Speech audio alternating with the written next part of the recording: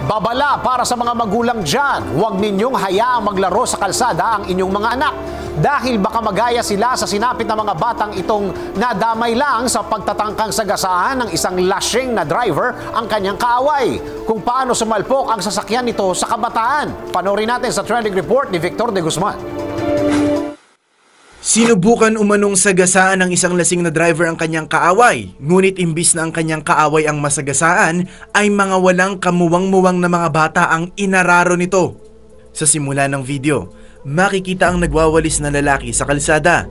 Maya-maya, mamamataan na ang humaharurot na kotse mula sa kalayuan na dire-diretso ang mabilis sa pag-andar na sinubukang salpukin umano ang kanyang kaaway na nakita sa simula ng video. Ngunit sa hindi inaasahang pangyayari, Tumoob ang kanyang sasakyan at nagpaikot-ikot ito sa gilid ng kalsada. Hindi nito tinamaan ang kanyang kaaway na lalaki. Agad nagtakbuhan ng mga tao sa lugar upang tignan ang gulo na nangyayari. Ilang segundo lang ang lumipas, lumabas na ang driver na tila walang sugat na tinamo. Kumuha agad ito ng pamalo upang sugurin ang kanyang kaaway. Ngunit sa kalagitnaan ng video, mapapansin na kaya pala nagkakagulo lalo ang mga tao dahil tinamaan ng sasakyang ito ang mga walang kamuwang-muwang na kabataan sa gilid ng kalsada. Dumating kaagad ang isang tricycle at nagtulong-tulong ang mga tao upang isakay ang mga biktimang ito at dalhin sa hindi nasabing ospital.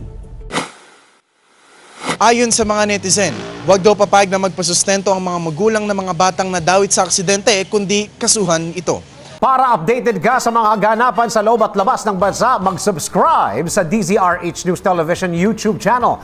Mag-like, share, comment at iring ang bell para araw-araw updated ka.